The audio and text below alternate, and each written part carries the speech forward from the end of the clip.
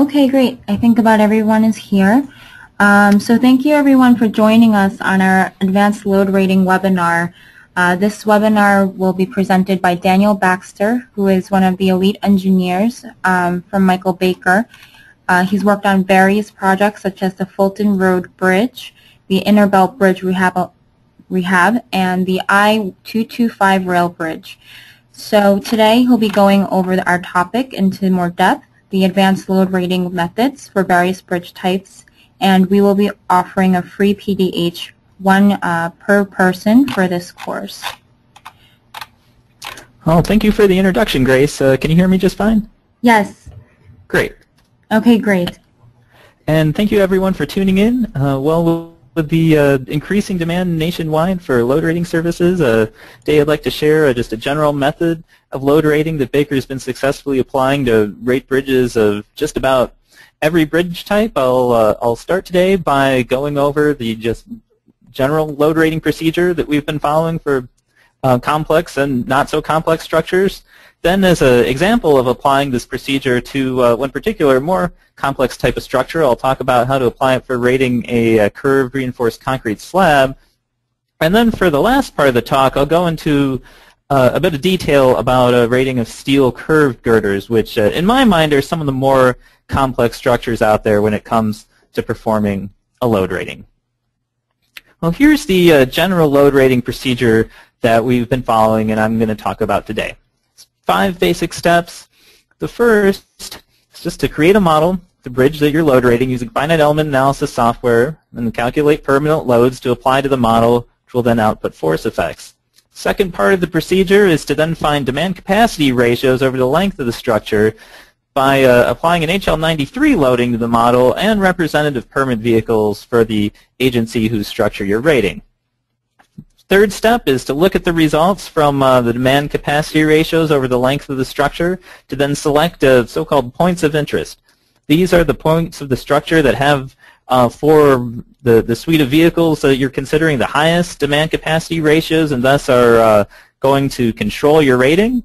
For the, and then the fourth step is for these points of interest to then to extract influence lines for the force effect in question at each point of interest and, one, and then the fifth step, once you have these influence lines, you can then run any standard or user-specified vehicle you want over the structure and then determine rating factors through the use of the influence lines and the information you've already gathered in the previous steps. So let's see how, these, uh, how this process plays out for uh, one example bridge type here, which isn't too complex.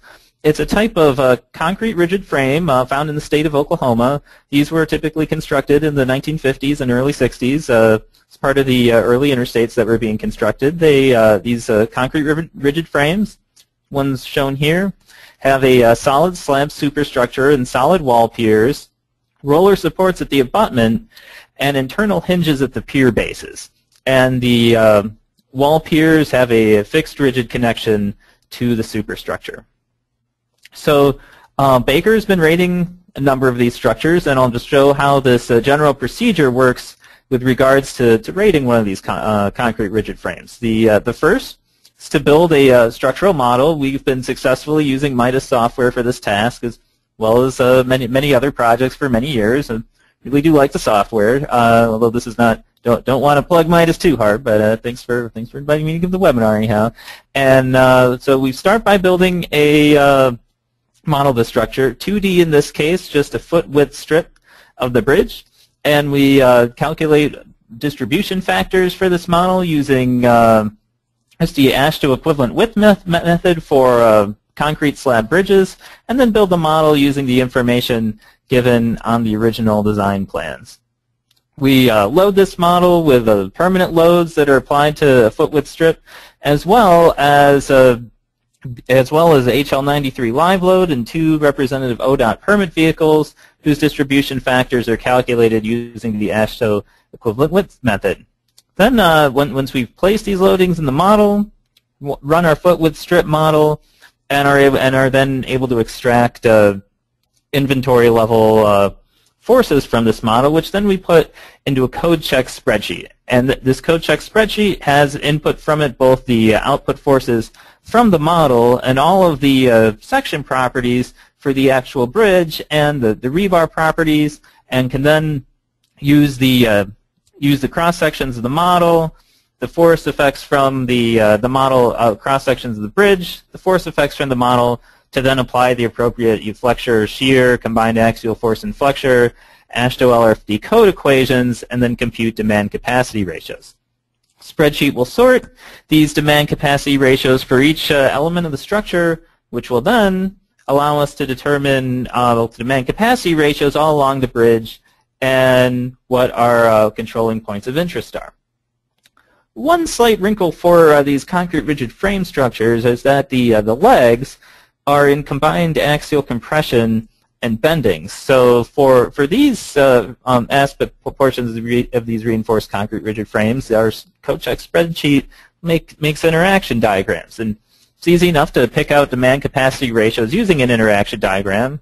Uh, all you need to do is just to plot the actual uh, moment and axial force uh, demand on the interaction diagram, pass a line through that point that goes to the origin through this point, and where that line intersects the action uh, interaction diagram, that's your uh, moment and axial force capacity, so you can then uh, capacity for loads of the same eccentricity as the actual applied load, which will then allow you to determine demand capacity ratio. So once uh, once we have all our results in our code check spreadsheet, we can look along the length of the bridge and see what our controlling points of interest are. These, again, are the points along the structure which are going to control the load rating. And they have the largest demand capacity ratios. For these concrete rigid frame structures, typically we've seen uh, that the slab at the face of the pier is a point of interest. Often uh, midspan of the slab, particularly the end spans for positive moment, uh, points of inflection for positive or negative moment where uh, positive or negative moment longitudinal reinforcement cuts off, and the top of the frame legs which see a significant amount of flexure combined with compressive axial force. So once we have selected these points of interest, we need to extract influence lines for them. So here's the uh, influence line for uh, moment face of the pier, and the, this is uh, extracted. You can use Midas to extract influence lines real easily. And the uh, cross, the target crosshair symbol just at the uh, top of the left pier indicates the point on the structure for which the influence line has been extracted. This to, and the force effect we're showing here is moment. And here you can see uh, the HL93 uh, truck plus lane load placed on this influence line to create maximum negative moment at this location. Portions of the influence line below the superstructure are negative moment. Portions above are positive moment. So here, uh, for our points on the uh, top of the pier columns that are subject to a combined axial force and flexure, for these points of interest, we need to extract two influence lines and then uh, determine concurrent live loading. Uh, that's what is uh, shown here. The influence lines for at the top photo are uh, axial force at the top of the pier, indicated at the top of the left pier there with the uh, crosshair mark, while uh, the figure below shows the influence line for flexure at the top of the left pier. So to determine our governing live load, we would run whichever vehicles are being rated over these influence lines and compute concurrent force effects to determine our controlling rating. And then this brings us, uh, once we've extracted influence lines and run vehicles over them, to our final step to determine rating factors. This uh, procedure is applicable to LFR or LRFR rating. Uh, we've uh, been prim primarily doing LRFR ratings, and once this procedure is followed, you have all the information you need to apply the LRFR rating equation and compute rating factors. We have capacity that's been calculated at each point of interest by using our code check spreadsheet, calculates it for every uh, point along the bridge. So for our points of interest, we can just pull out what the code check spreadsheet is saying for our force effect in question. Uh, permanent uh, force effects have been calculated using the finite element software at each point of interest based on our applied loads that we've calculated. And lastly, our live load in the denominator is determined by running the vehicles that we're rating over the influence lines that we've extracted for each point of interest. And any vehicle can be input. And we don't have uh, time, unfortunately, in this webinar to go over the specifics of the different rating of, of the different load factors for LRFR ratings, but they, they can be found, of course, in the manual for bridge evaluation, which would then be applied to the equation shown here. So this, uh, this procedure, as I mentioned, is applicable to any structure type, so it lends itself to more complex structures for which there may not be readily available out-of-the-box software packages to perform a rating. And um, one nice thing about it too is the user can define and load rate any vehicle of a standard width, so any type of permit vehicle or any type of special permit vehicle can be used. And it also, by, by virtue of using influence lines, has the, ver has the ability that this information, as we're doing in the state of Oklahoma, can be incorporated into a statewide automated permit approval system which lets uh, truckers and freight carriers just enter the uh, permit vehicle that they're seeking to be approved, which will then can automatically be checked for the route the vehicle uh, the shipping company would like to take. Now, uh, for more basic ratings where uh, the, this type of automation is not desired, standard vehicle load rates can just be determined by following just the first and second steps of this procedure, where then you have your uh, code check spreadsheet, just export a rating. Drawback of that method, though, is you can't uh, when, once you, if you only go through those first two steps, you can't then rate any vehicle you would like in the future without going back and doing those steps again. So in terms of which uh, uh, steel bridge types we've rated, on and got uh, deck trusses, through trusses, delta frame bridges, curved and skewed steel girders that I will uh, talk about more in this presentation, and tied arch bridges. It's a very versatile procedure model all of these structures with Midas Civil quite successfully. In terms of uh, concrete bridges that we've rated, uh, this procedure works just as well for concrete. Done uh, reinforced concrete uh, curved slabs. I'll, I'll, talk about that in a little bit. Uh, post-tension segmental box girders, which unfortunately we don't have time in this uh, presentation to go into. That's a pretty interesting topic. concrete rigid frames, as we've seen for this example, and a open spandrel post-tensioned arch, so be a Fulton Road Bridge in Cleveland along with earth-filled reinforced concrete arches. So it's a very versatile procedure. Let's take a look in some detail about how you might, how you, one would extend this procedure to probably the next level of complexity beyond a straight concrete rigid frame bridges, bridge. Uh, this is a uh, curved uh, concrete rigid frame uh, reinforced concrete hollow slab bridge in the state of Oklahoma. It's in Tulsa. Here uh, we analyze this bridge uh, as longitudinal strips between the pier diaphragms following the method that these bridges were were originally designed following in the 1970s. We talked to some of the engineers who had originally designed these bridges. And so they were designed as a system of just straight strips between the piers where then pier diaphragms transfer torsion and shear into the piers. So it's the pier diaphragm that's responsible for taking the torsion and shear forces primarily and transferring them. So here again is a, another look at the uh, look at the bridge in question. It's a bridge 18118, Oklahoma. It's a six-span, sharply curved, voided reinforced concrete slab. The piers are rigidly fixed to the slab, and many of the piers have hinges at their base, so it is a rigid frame, and the spans range between 42 feet to 62 feet. Well, the first step of the process is just to build an analysis model. Since we're using, uh, let me want to take a sip of water. So we're using the uh, longitudinal strip method. It's uh, sufficient to model this type of bridge as just a single line of beam elements that are integral with the piers. One thing to note, though, when building this model is it's important to make sure the element local axes of your pier are at each pier location aligned with the element local axes of the beam elements used for the superstructure. If you happen to be using Midas, you can just turn on your element local axes display function to check that these local axes are aligned. And then you can realign the element local axes of the pier, pier elements if necessary to make sure everything aligns. Then um, to get into the next level of complexity here, uh, one consideration we have for a, a, curved rigid frame such as this that we didn't have for straight rigid frames uh, so much is um, make it, taking a close look at the pier diaphragm torsion transverse bending. Now we can extract what the torsion is uh, in the pier diaphragms from just this model by looking at what the transverse bending is at these fixed piers. And this, uh, this figure here shows the live load placed on the superstructure in such a manner as to maximize that transverse bending. You can see this is an influence line for transverse bending at the top of the pier.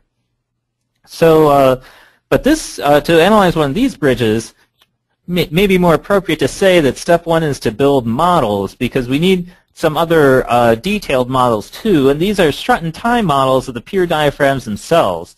And we can load these strut and tie models, I'll go into that in a little bit, um, by uh, looking at the forces at the top of the pier, the axial force and transverse, uh, the axial compression at the top of the pier, and the transverse bending, to then, from just horizontal and force equilibrium, to then load the strut and tie model, to then determine forces which we can use to analyze the reinforcement in the pier diaphragms as well as the compression struts. So, so we have our, uh, our models. We uh, can then just determine demand capacity ratios using the same uh, our same concrete code check spreadsheet or any reinforced concrete design spreadsheet and tool combined with the forces from our output from our model for the superstructure. The pier diaphragms, as I mentioned, were evaluated using strut and, using strut and tie models where these strut and tie models were loaded uh, with forces from the superstructure model, and then they were uh, checked using the AASHTO strut and tie provisions. We, uh, although the uh, our code, our particular code check spreadsheet can do uh, square columns with biaxial flexure and axial compression, we uh, chose to use PCA column in this case to analyze the round pier columns and determine demand capacity ratios. So here's just a little figure showing how one might load the strut and tie model uh, where uh, the F sub T forces, these represent unbalanced load that causes uh, torsion in the, this superstructure. It's calculated from the maximum transverse bending moment in the fixed pier.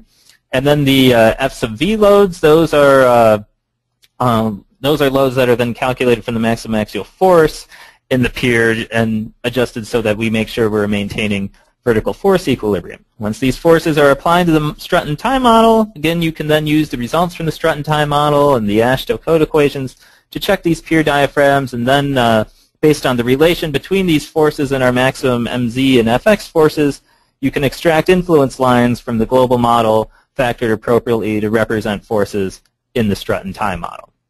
So once we've done that, we determined that for this particular bridge, the points of interest were uh, the tension reinforcement in the pier cap diaphragms, uh, positive moment for the slab at midspan, um, neg uh, negative moment in the slab near the pier, and combined axial compression and flexure at the top of the pier columns themselves. So um, follow, still following our procedure, the next step was to extract influence lines. It's pretty straightforward. Here, um, two influence lines are shown that would be um, both affect the demand capacity ratios of the pier and the pier diaphragms above the particular pier where they're shown. The, the top image shows the top of pier influence line for maximum out-of-plane bending in the pier and at the top of the pier, while this lower image shows the influence line for maximum compressive axial force at the top of the pier. So this is just showing where uh, where you would place your live load to maximize these force effects. So, we did that. Again, we had all the information then we needed to go and crunch through our LRFR load rating equation. We found that for this particular bridge, the pier caps can pier diaphragms control the rating. In this particular case, the lowest ODOT routine permit rating factor was 0.77. But this is just more to show that how this general procedure can be applied for a more to a more complex and somewhat unique superstructure type. So now let's, let, let us spend some time talking in detail about the uh, load rating of steel curved girder bridges. As I mentioned, I really, I really think when, as far as load rating goes, these are some of the more complex structures out there. And a big part of, a, a big aspect that goes into the results that you'll get for load rating these types of structures are how they are modeled. The choices that are made in modeling these structures can play a fairly large effect and influence the rating based on the force results you get. So following our overall procedure, we'll go through by talking about modeling these types of bridges. We'll spend a lot of time talking about that. And then once, uh, once we have the model that we want, computing demand capacity ratio, selecting the points of interest, extracting influence lines, and computing rating factors are all relatively straightforward, although there are some you know, special quirks, say, that are unique to steel curved girder bridges. But let's talk about modeling. So it's the first step in this, and uh, there are four, oh, broadly, I mean, there are other ways to model these bridges, but uh, for our purposes here, there are uh, four types of models that I'll talk about some detail. Grillage models, what I'm here calling a detailed grillage model, refined analysis, and then what I'm here calling a, a detailed refined analysis. Well, we know we need to use one of these methods at least to model the steel curve girder system in 3D. These are 3D structures Cross frames, along, along with the girders, of course, are all primary structural elements which are working to transfer torsion to the piers from the superstructure. So to accurately model these bridges, we really should model them in 3D using one of these four methods shown. Now let's start by, uh, let's go through talking about what, what we mean by each of these types of models. And, you know, there, there are, you know, plenty of software packages out there that will model these uh, bridges, and I prefer to you know, model them using just a more general purpose program like Midas, but there are other programs out there like MDX, and all these programs, for the most part, are, are capable, let me back up one slide, of generating, you know, pretty cool looking screenshots. Not that this is necessarily a cool looking screenshot, but you, you get what I mean. But I, I would encourage everyone to probe pretty closely and for whatever software you're using to figure out just which of these methods is really being used to model the structure. Because depending on which one it is, it can have a large effect on the results. So don't, don't stop whatever you do with just a pretty looking screenshot because underlying that there can be a lot of different ways that these bridges are modeled. So let's start by talking about just what a basic grillage model is. Typically each girder line of curved girder is modeled as a single line of beam elements and Cross frames are modeled as, sing as single beam elements with one element per cross frame typically, which are then given section properties derived using the cross frame as a whole, which will you know, typically have a top chord, a bottom chord, and diagonals. Now the deck may be modeled with shell elements. And typically, I'll explain more about this later, these uh, beam elements do not have what's called a warping torsion degree of freedom, and I sections, they, they take torsional uh, forces by developing flange lateral bending stresses, and their ability to do that is character, characterized by a, a, warping torsion term of stiffness, which is not typically included in the stiffness uh, uh, formulations that are used for beam elements by most programs. I'm, I'm told that Midas will be adding this stiffness uh, formulation in a future release, but for most for most programs out there, they don't have this warping torsion degree of freedom for beam elements, which means that these flange lateral bending stresses, if you're just using a beam element to model the uh, entire cross-section of a girder in a curved girder bridge, then need to be approximated. Same goes with uh, skewed bridges where these flange lateral bending stresses develop as well. But anyhow, this is takes look at a, a grillage model, and it has some advantages. Certainly, they're they're they're simple to build relatively simple, still 3D, but nothing too complex, just, just beam elements. And working with the force results is straightforward because moments and shears will be output for the entire girder cross-section along the length of the girder. And in comparison to the other methods of analysis we have, runtime is relatively short for live load. There are some disadvantages, though. It's uh, not usually as accurate. I mean, this is debatable, but it's not usually as accurate as the other modeling methods that we're going to see. And as I mentioned, flange lateral bending stresses must be approximated. There's no warping torsion uh, degree of freedom for the beam elements that are, are typically used in these models, so some sort of approximate method needs to be used to then back calculate what these flange lateral bending stresses are, which then in turn appear in the uh, section 6 LRFD code equations.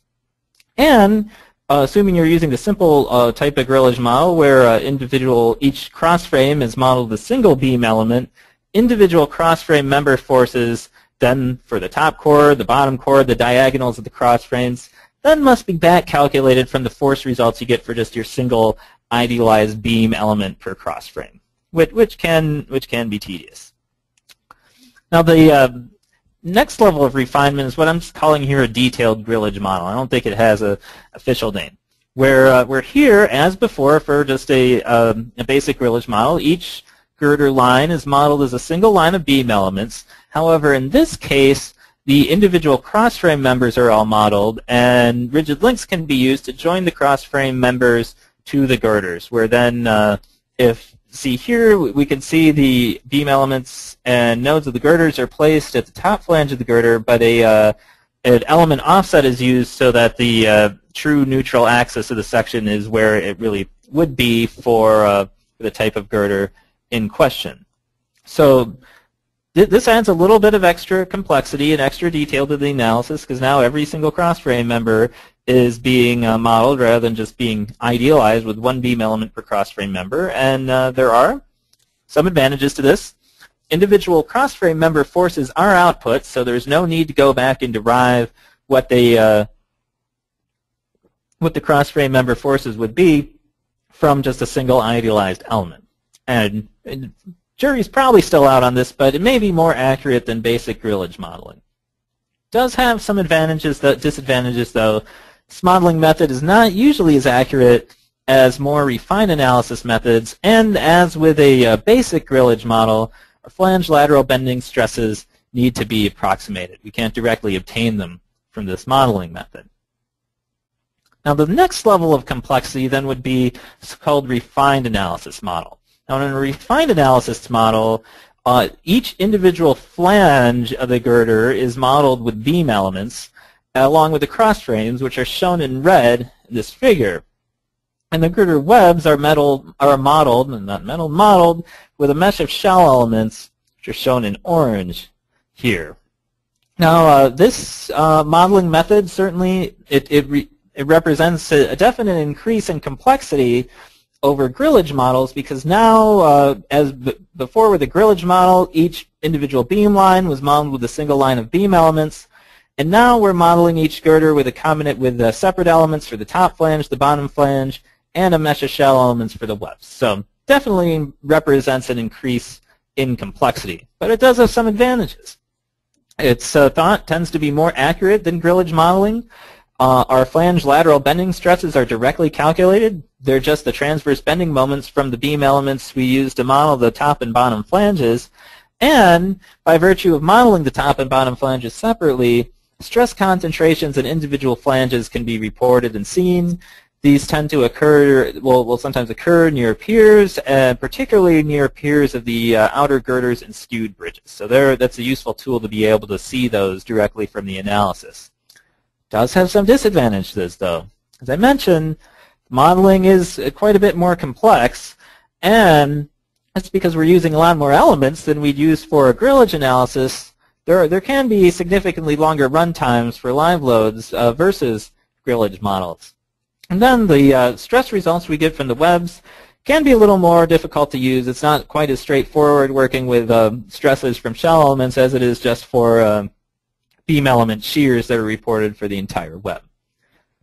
Now the the greatest level of complexity is what I'd call a detailed refined analysis model. This is where uh, the flanges are also modeled with a mesh of shell elements rather than using beam elements for the flanges. But as before, girder webs are modeled with a me mesh of shell elements shown in orange here, and the cross frames are still modeled with green elements, with, with beam elements, which are shown in green in this figure.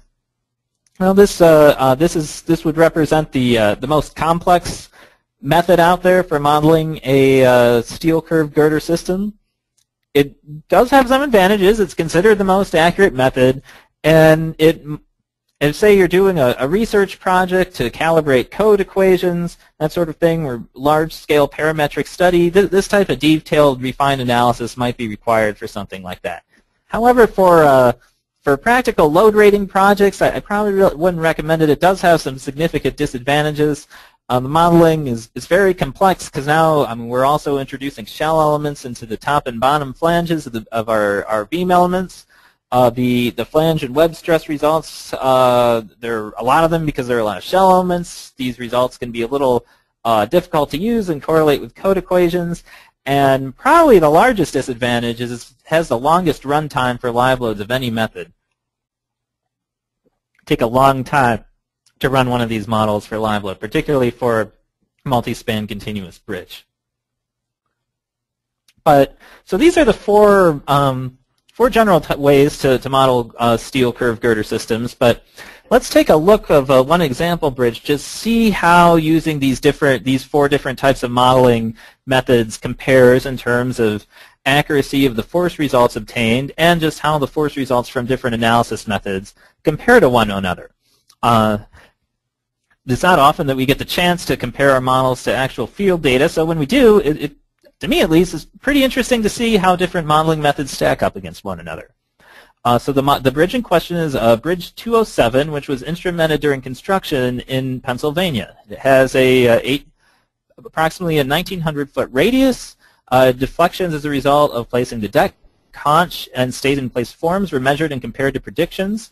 Uh, this research was performed by Dr. Deanna Nevling, Dr. Daniel Linzell, and Z Jason Shura while they, uh, at Penn State University. And I'd like to thank Dr. Nevling, and she's now with Baker, uh, one of our one of our top engineers. She's probably the the lead engineer, not me. But uh, th thanks to her for sharing this data. And uh, this data was also compared to two Midas models that were built just for this seminar.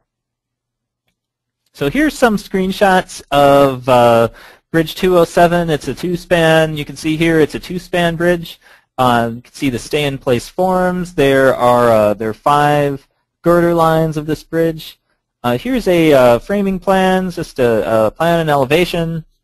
See the uh, span 2 is longer than span 1 by about 50 feet. And there's several, uh, you can see in the elevation view below that there's several uh, flange plate size transitions along the length of the girder. So here are uh, girder 1 deflections due to placing the deck stay in place forms, haunch, that were measured in the field for girder 1. And here we can see uh, the deflections that were uh, computed for this bridge by both doing making a basic grillage model using SAP 2000 software, that's shown with the thinner black line with the diamonds, and by doing a detailed refined analysis using Abaqus 3D software, where this, again, detailed refined analysis where both the beam flanges and webs were modeled using a mesh, a fine mesh in this case, shell elements. And, well, as we'd probably expect, we can see that the detailed refined analysis, it's, it's pretty close to these computed deflections, so it seems pretty accurate. We could say just by comparing these deflections, well, the basic grillage model, not so much. It, it's, it's a ways off, that's for sure. But let's look then at how uh, the results compare to a detailed grillage model and a basic refined analysis where uh, beam elements are used for the flanges instead of uh, instead of a mesh of shell elements. Well, working backwards, we can see that the uh, that the uh, refined analysis it, it's pretty close to the detailed refined analysis, and the the detailed grillage it's not too far behind, a little less accurate, but all all in all, still pretty close. Uh, looking at our girder 3 deflections, we can see that a basic grillage model is still quite a bit, uh, bit ways off from what was measured in the field. Again, that's the red line while our detailed refined analysis, our refined analysis, and their detailed grillage model here are all coming in really close together and pretty close to the field data. And looking at the girder 5 deflections, uh, this is a this is a result I wouldn't uh, ordinarily expect, but in the longer span, the uh, the detailed grillage and refined analysis are coming a little closer actually to the field data than the detailed refined analysis. I don't wouldn't expect that to be the case most of the time, though, but we can still see here that our basic grillage model is, is not so accurate. So, uh, let, so th that's how deflections stack up. Let's see how uh, forces compare, or forces or stresses compare between using a uh, detailed grillage and a refined analysis. Well, for our maximum girder top flange unfactored tensile stress, due to these dead loadings, refined analysis and detailed grillage, uh, they're really close. Same with maximum girder 1 top flange compression. They're off just by a hundredth of a decimal point, detailed grillage versus refined analysis. That's a pretty remarkable result. But there's a, so there, those forces are really close for, uh, stresses, pardon me, are really close for the uh, girder 1 top flange. But when it comes to maximum tension and compression in the cross frames, there there's some noticeable differences between the detailed grillage and refined analysis. The the cross frame forces for the detailed grillage model, uh, they're quite a bit larger than the refined analysis forces, so significantly larger here as we can see.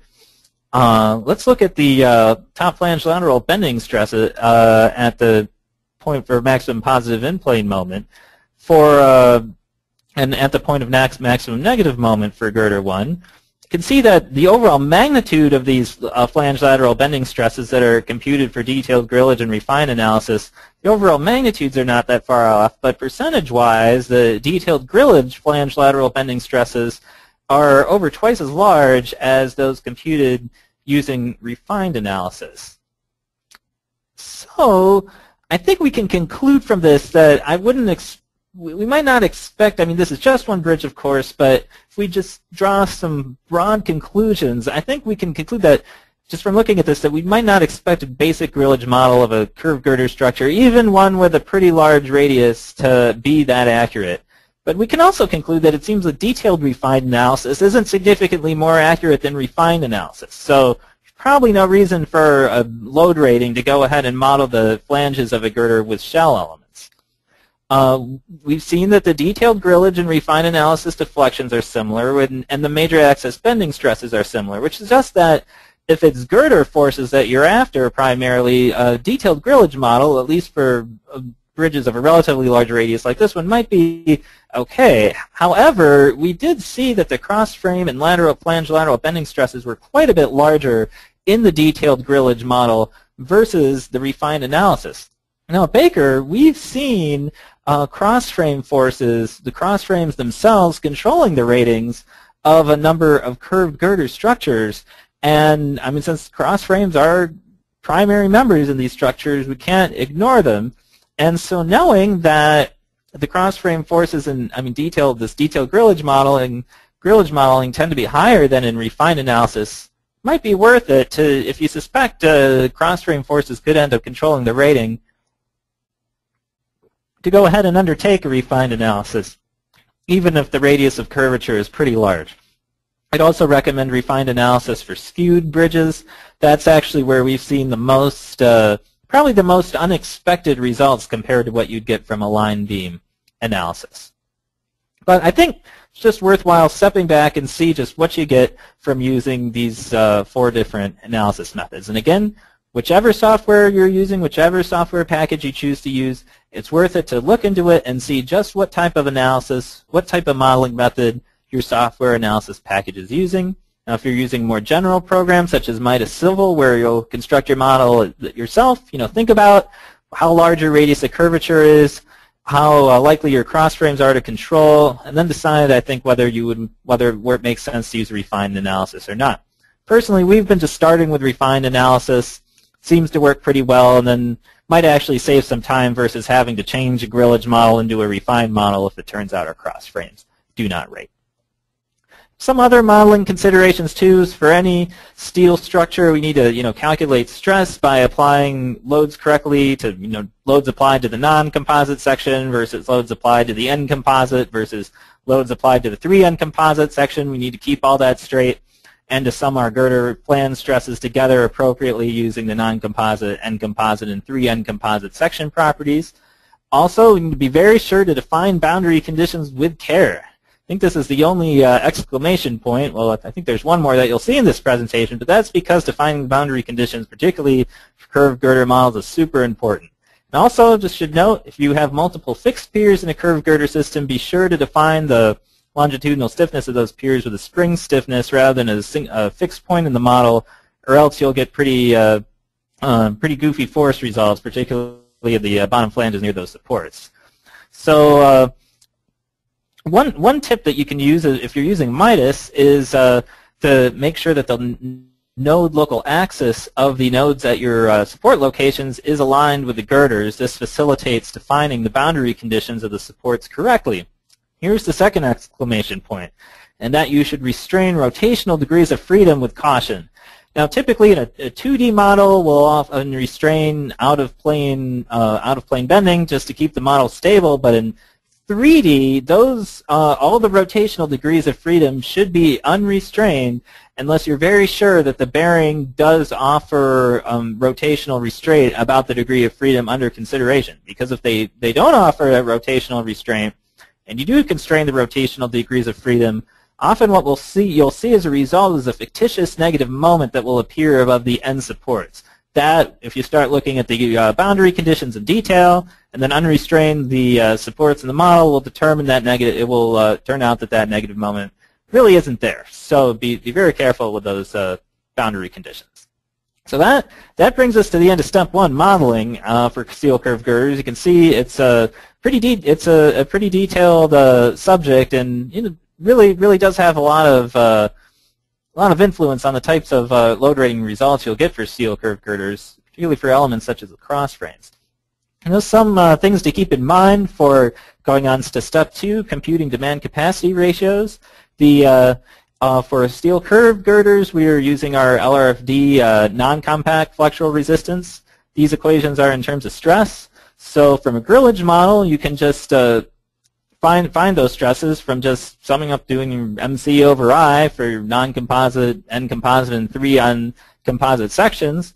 Well, for refined analysis, uh, since you'll be uh, using uh, individual beam elements to model the flanges, that longitudinal in-plane bending stress in a flange is just the axial force from that flange beam element divided by its area. So just have to think about how to extract those forces depending on those extract those stresses for our LRFD non-compact flexural resistance checks just based on what type of model you're make uh, you're making.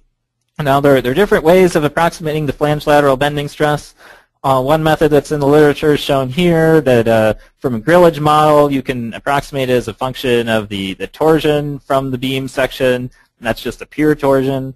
Uh, the L is the distance between cross frames, H is the total height of the girder, and T sub F and B sub F, those are the flange thickness and width respectively. But for refined analysis, we don't need to approximate anything. It's one of the advantages. And the flange lateral bending stress is just for each type of non-composite N composite, 3N composite section. It's just uh, MZ over C over I, where here we're getting our uh, flange lateral bending stress is simply the out-of-plane bending moment in our flange elements, that beam elements that are used to model the girder.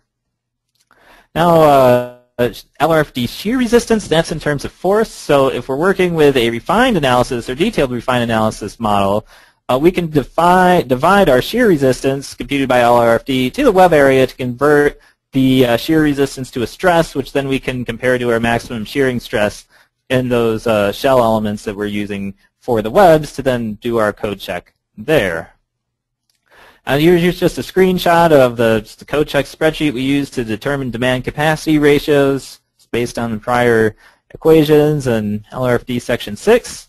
Then uh, from this point on, it's pretty much the same uh, procedure as um, before.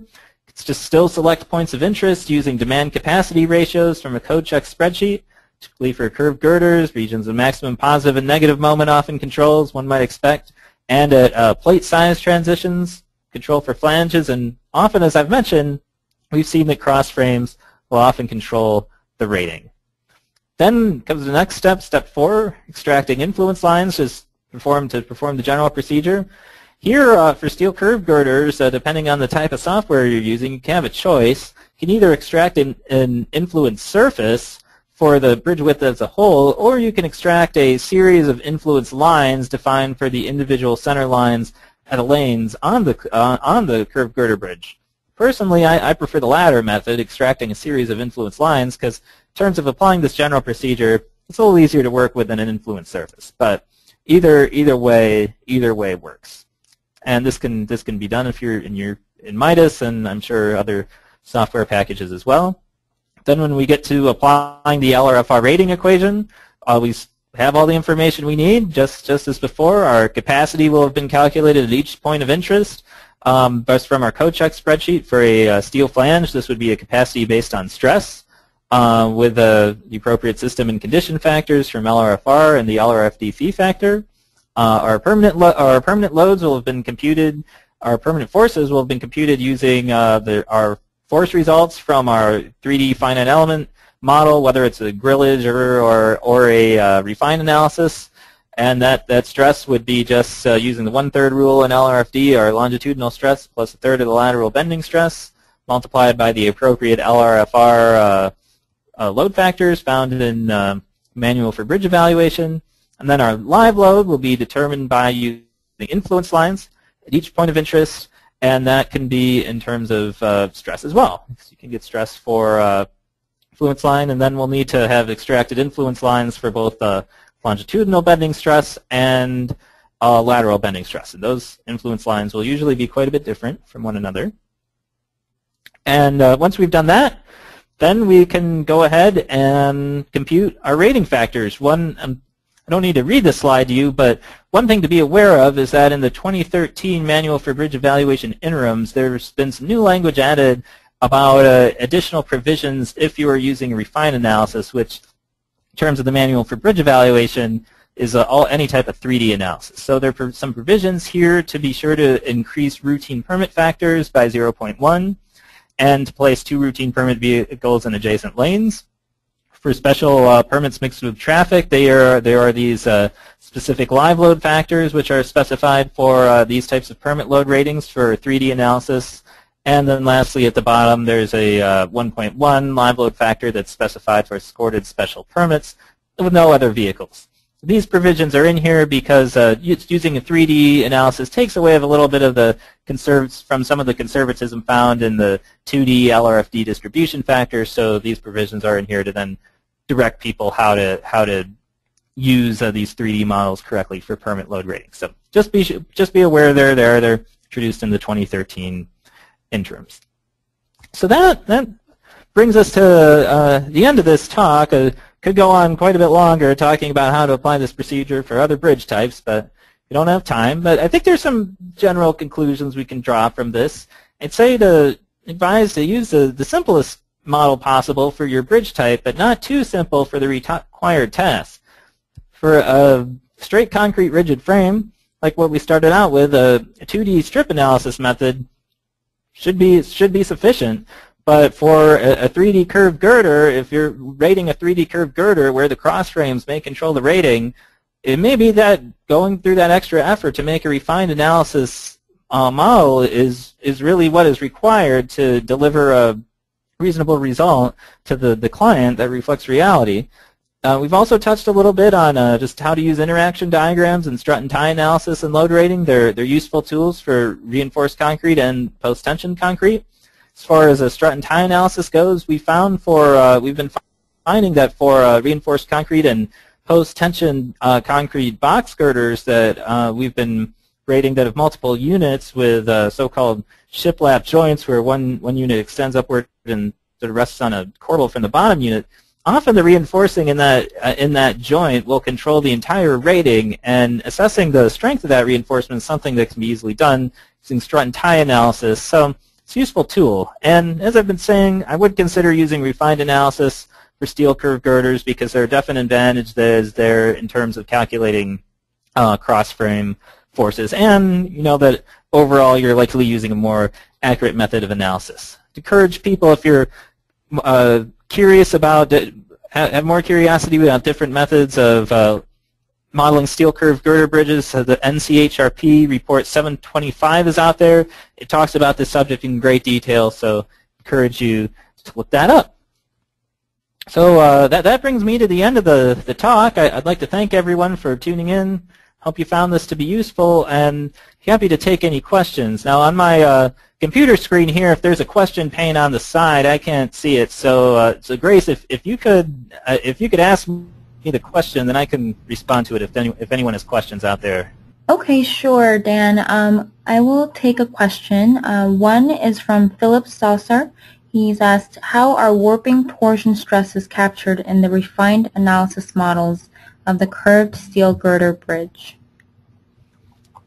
Oh, for, for refined analysis, they are captured in the out-of-plane bending stress, uh, out-of-plane bending moment of the uh, elements used to model each the, of the beam elements used to model each flange. So if we were if we were just looking at a cross section of a uh, of a of a, of a steel girder in a refined analysis, we would uh, for the top flange we'd model that with a line of beam elements. Then we would model the web with a uh, mesh of shell elements, and then we'd model the bottom flange with a line a, a separate line of beam elements. And if we looked at the force results of those beam elements, we'd have uh, large axial forces that, that would correspond to in-plane bending moment, and then we'd have just out of, we'd, we'd have uh, transverse bending moments, uh, M, MZ moments in the, the Midas sign convention, and those MZ moments, those correspond to the flange lateral bending stresses due to warping torsion. And another thing I should mention is that by virtue of modeling the top and bottom flanges separately, and then the web with shell, webs with shell elements, this enables the cross-section to warp and distort because uh, that, that web can undergo double curvature bending, which is something that for most the beam elements in most programs, if you're modeling the each uh, girder line with a single line of beam elements, they don't have that warping uh, stiffness to be able to do that. Okay, and one last question uh, before we end this. Um, since the superstructure is integral to the pier cap, is it appropriate to model the cap with strut and tie model, which is a truss modeling method, as members aren't acting as truss members? Oh, well, I mean, strut and tie analysis, it's, it's often used for just large monolithic concrete sections like uh, pier caps of uh, pier caps of hammerhead piers or uh, inverted T-beam sections. So, uh, I mean, it, it, definitely should be appropriate here. It's just idealizing the flow of forces through just a large reinforced concrete section as a, a flow of forces as a truss. It doesn't it doesn't assume that it's it's really exactly behaving as a truss. But what we can do is the uh, for the the elements of this idealized truss in a strut and tie model that are in compression, we can compare that just using the AASHTO code equations to uh, to the the strength of the concrete as a compressive strut in this region. For the uh, portions of the truss in our idealized uh, truss model and the strut and tie model that are in tension, we can compare uh, those tensile forces to uh, the the longitudinal or vertical steel that's present in those locations to see if there's a you know sufficient strength in our uh, rebar and this ASFY to be able to be able to take those forces. Okay. And uh, there's a there's a real nice publication out there, uh, just uh, guidelines for I don't have the exact title, but AASHTO uh, LRFD strut and tie analysis. It's a it's a brown cover, I believe it's put out by the uh, Port, uh, Portland the PCA. so I'd, I'd recommend looking that up. It is a, it's a real nice reference. Okay, great. Thank you so much, Mr. Baxter, for helping us out here with this presentation.